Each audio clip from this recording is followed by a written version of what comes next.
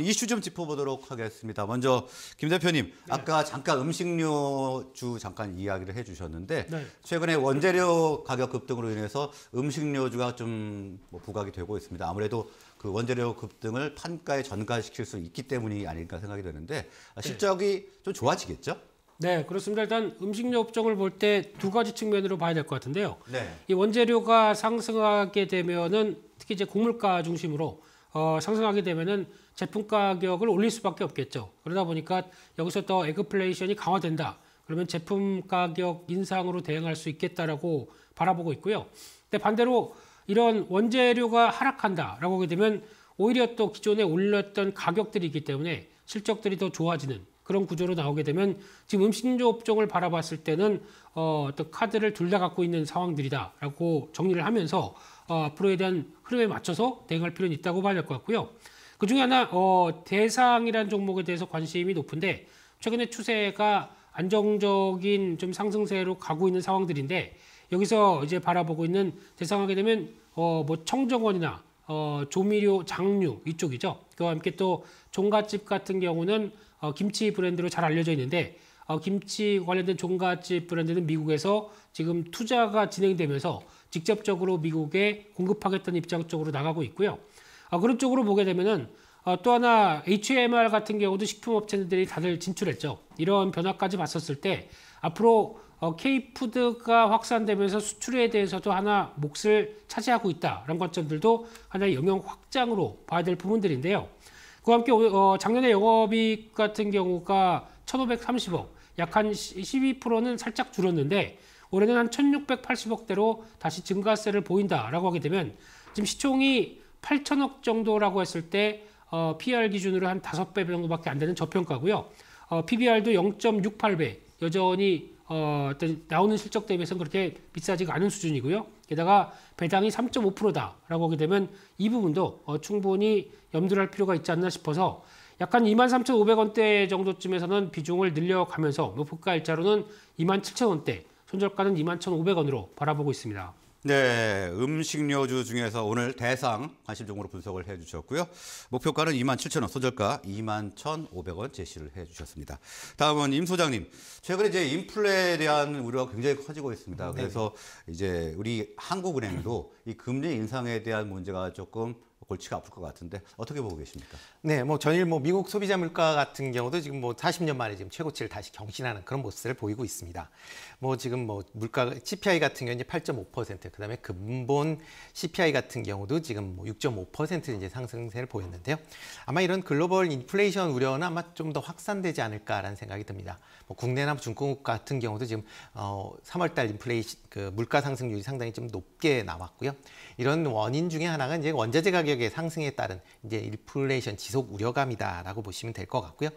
어, 그렇기 때문에 이제 각국 중앙은행에서 인플레이션을 잡기 위한 뭐 상당히 공격적인 그런 이제 스텝을 지금 밟고 있다라고 보시는 게 좀 맞지 않을까라는 생각이 들고 있습니다. 미 연준 같은 경우도 5월 FOMC 회의에서 빅스텝 뭐 0.5% 포인트 이상 지금 올릴 것이다라는 게 뭐 기정사실화돼 있다라고 보시면 될 것 같고요. 어 그렇지만 이제 이런 이제 인플레이션을 잡기 위한 뭐 여러 가지 조치는 있긴 하지만 뭐 당장 잡히진 않을 것 같고요. 좀 더 인플레이션은 아마 올 하반기까지는 좀 더 지속되지 않을까라는 생각이 들고 있습니다. 뭐 한국은행 같은 경우도 지금 뭐 금융통화위원회 이번 주 목요일 날 개최될 예정인데요. 일단 지금 뭐 한은에서도 이번에 아마 기준금리를 올리지 않을까라는 또 그런 뭐 얘기들이 많이 나오고 있습니다. 이유 중에 하나는 이제 5월달 그러니까 금융통화 FOMC 회의와 그다음에 5월달 금융통화위원회 간에 이제 격차가 한 3주 정도 벌어지게 됩니다.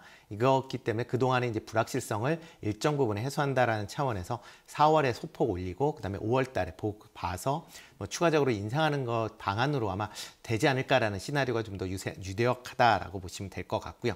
그러다 보면 이제 금리 상승에 대해서 가장 이제 수혜를 받는 업종이 이제 금융 관련 업종이다 라고 보시면 되지 않을까 싶습니다.